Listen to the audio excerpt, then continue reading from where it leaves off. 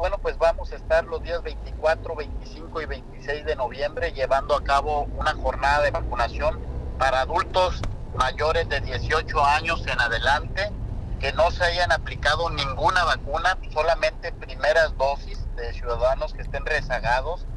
Y vamos a llevarla en dos puntos de vacunación, en lo que es el auditorio de la UAC,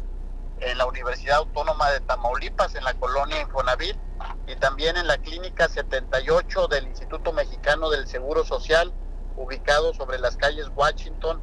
y Aquiles Cerdán. Van a poder acudir todos los mayores de 18 años en un horario de 8 de la mañana a 6 de la tarde.